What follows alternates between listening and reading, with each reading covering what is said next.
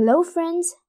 Today we've got a piece of mind boggling news about the HIV, also called as the human immunodeficiency virus. We've tried to cover the medical facts in a simple manner, so stay with us till the end of the video. We'll be talking about a newfound variant of HIV, the virus that causes AIDS. Now, before starting with the content, do you know the difference between HIV and AIDS? HIV is a virus which stands for Human Immunodeficiency Virus, whereas AIDS, which stands for Acquired Immunodeficiency Syndrome, is a complex of symptoms that starts appearing gradually as the number of immune cells in your body starts dropping. So, this new variant of HIV has been recently discovered in the Netherlands and appears to cause faster disease progression compared with other versions of the HIV. As I have already said, the majority of the cases were reported in the Netherlands, but so far this variant has been detected in some parts of the Switzerland and Belgium as well.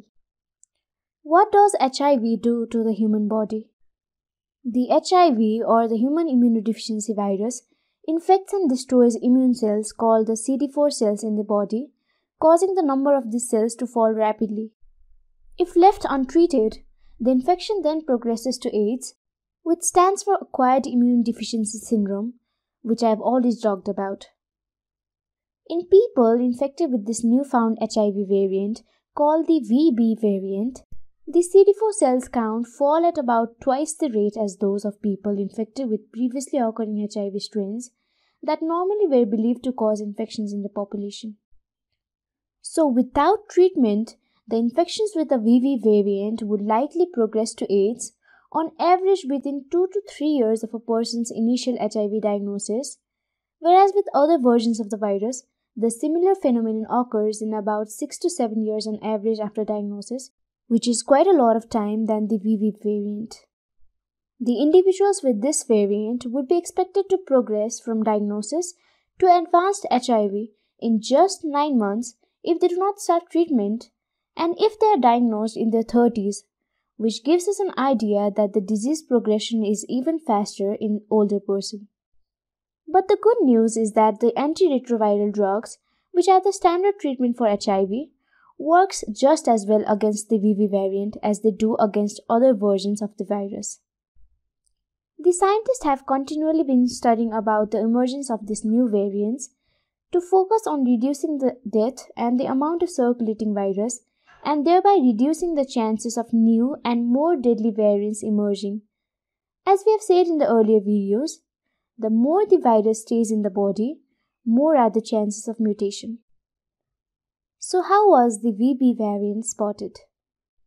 A groundbreaking project called the Beehive Project, which first began in 2014, was created to understand how changes in the virus encoded in its genetics causes difference in disease and they found that the variant carries many mutations scattered throughout its genome.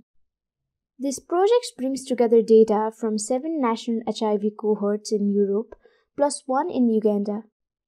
So, while analyzing data from the ongoing study, the team identified 17 individuals infected with a distinct HIV variant, all of whom carried strikingly high concentrations of the virus in their blood early during infection between 6 months and 2 years after diagnosis.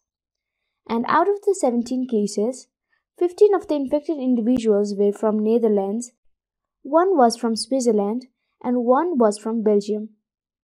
Now let's learn a little bit about the HIV.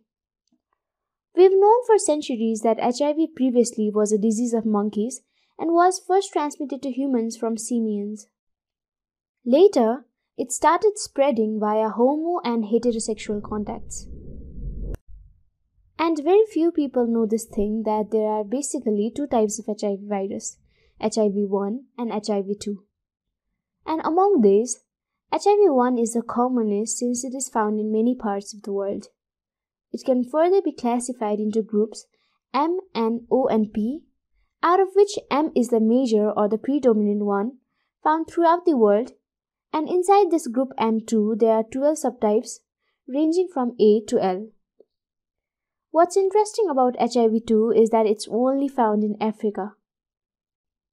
This newfound variant belongs to the genetic subtype B the HIV viruses most commonly found in the Europe and the United States. A study was made in a large group of HIV positive individuals in the Netherlands who were diagnosed positive between 1981 and 2015. Viral genetic sequence data was available for more than 8,000 of these individuals, and out of them, 6,700 were infected with subtype B viruses. The individuals who suffered from the VB variant carried 3.5 to 5.5 folds higher viral load than the people infected with the other subtype B variants, which gives us an idea that the virus has a high predilection to human body. And at the time of diagnosis, the individuals infected with the VB variant already had a lower CD4 counts than those infected with other strains of HIV virus.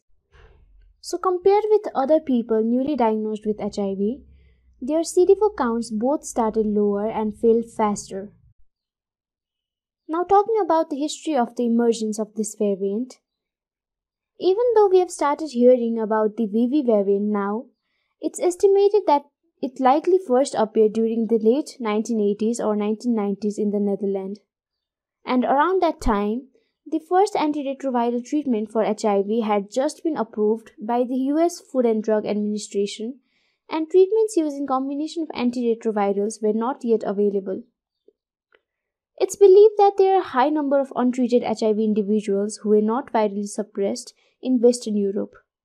And this high number of people who were not treated with antiretrovirals would have provided a large population in which the new variant could have emerged possibly. On top of being highly virulent, the VB variant may also be more transmissible than other versions of HIV. The scientists expect many groups around the world to begin screening their data to see if the VB variant has spread widely or not. The genetic sequence has been published to the world so that countries can screen it and decrease its possible outbreak. It's good to hear that apart from the cases detected in people from Switzerland and Belgium, the team has found no initial evidence of the variant beyond the Netherlands. That's all about the VB variant of HIV. Our motive of the video is to aware you guys about the viral outbreaks and its consequences that could be harmful to humans, rather than just creating rumors that are unscientific. Hope you liked the video. Do give it a thumbs up and leave a subscription down below for more medical news and informations. Till then, made it made it for you.